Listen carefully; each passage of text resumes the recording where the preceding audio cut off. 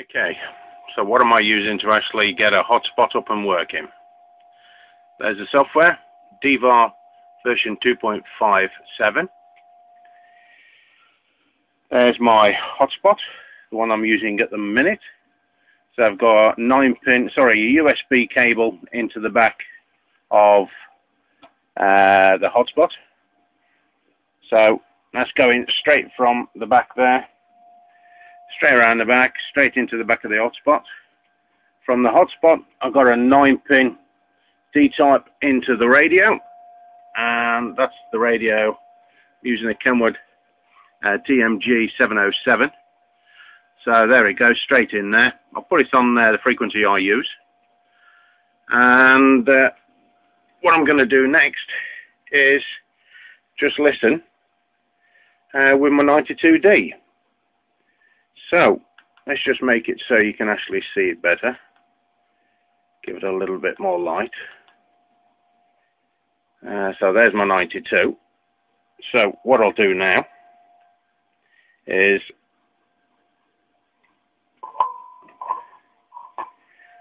um, put the software on. So I'll go on to Reflector 5.8, click on that, click Connect, and there you go, I'm connected. So what actually happens is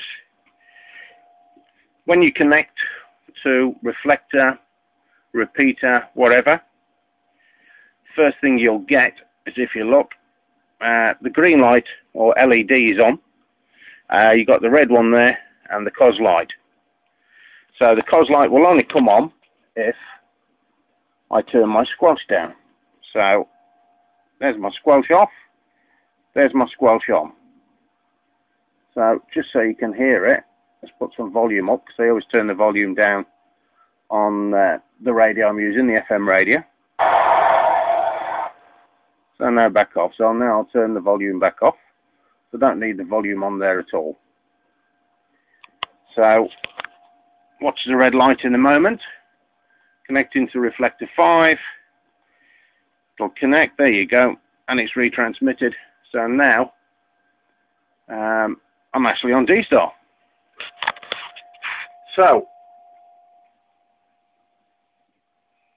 there's my 92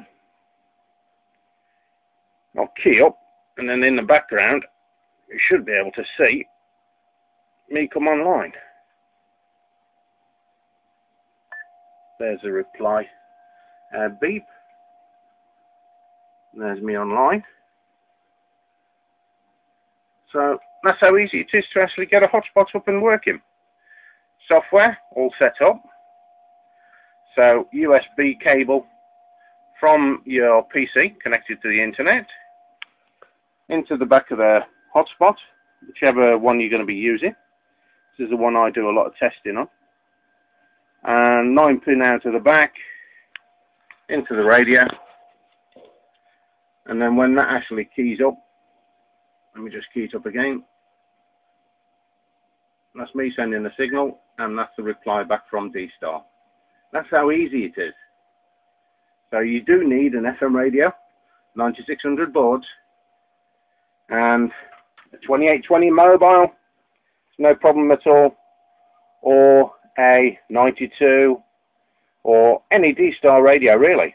Just make sure they're on the same frequency um, your radio here, your D-Star radio, and your FM radio on the same frequency.